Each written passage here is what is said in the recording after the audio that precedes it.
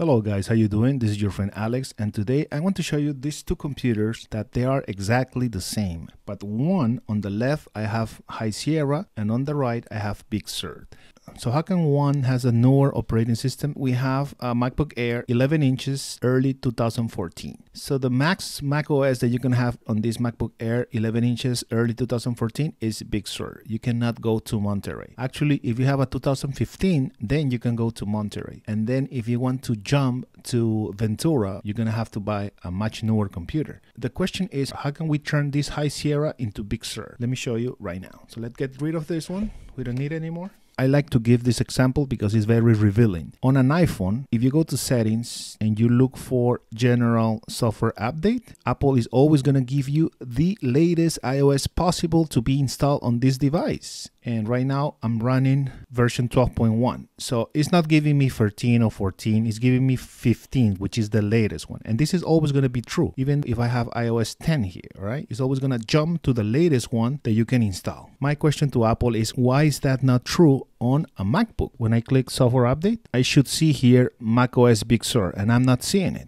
Actually, if you go here, this is the App Store, you will see macOS Ventura. And let's say you try to install it, look what you're gonna get. We could not complete your purchase. This version of macOS 13.3.1 cannot be installed on this computer. Let me search for Sur, right?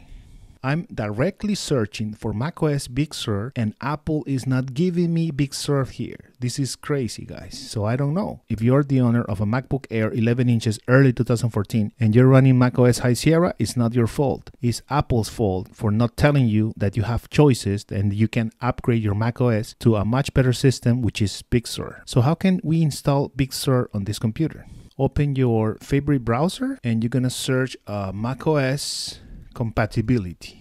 The first result is macsales.com. So click on that one. Here you're gonna find out what is the maximum Mac OS that you can install on your computer. So first of all, you need to identify your computer. MacBook Air. So click on MacBook Air. And here you can see based on the model that you have, what is the maximum Mac OS that you can install. There are two ways to find the model of your computer. The first one is you can say that this is a MacBook Air 11 inch early 2014. But each MacBook computer has an identifier. How can you find the identifier? You're going to go to About This Mac and System Report. Here you can find the model identifier. Okay, so this is the most exact way to find out what model is your Mac. In my case, it's MacBook Air 6.1. So we're gonna look here on the left, MacBook Air 6.1, right? You can see here by the year also, right?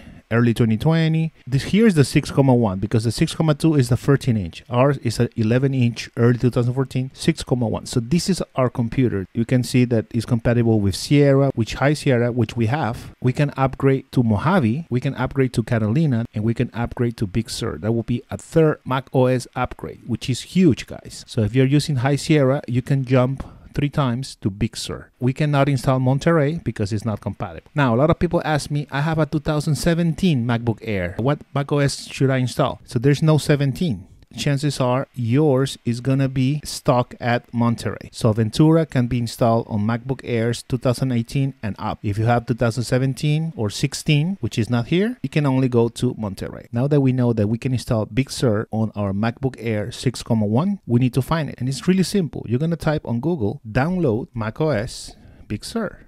The good thing is that the first result is going to be the Apple Store. So click on that and you can see the website automatically pop up the app store. And here is giving me the option to download this mac os and this is free guys. So you just click here download. This might take a while. This computer i don't have any information but if you have files and software i recommend you to do a time machine backup a full backup. It's gonna take three hours and 12 minutes. This depending on your internet connection. And i'm gonna come back once it's done Alright guys, so after a couple of hours of downloading the software and another couple hours of installing the software, we finally got Mac OS Big Sur on our Mac Air 11 inches early 2014. A lot of people ask me if I install Big Sur, my computer is going to be slower. The answer is no because Apple approved this upgrade for your computer, so it should be fine. Remember that the main reason that Apple stopped doing upgrades for computers is hardware. So if your MacBook Air is natively capable of upgrading to macOS Big Sur or Monterey or Ventura, that means that the hardware support that upgrade. So don't be afraid of upgrading. Don't think that the computer is going to be slower, all right? If anything, it's going to be faster because it's a new operating system, new stuff that you're incorporating into your laptop. Thank you so much for watching this video, guys. If you want to support my channel, don't forget to subscribe and I'll see you on my next video. Take care. Bye.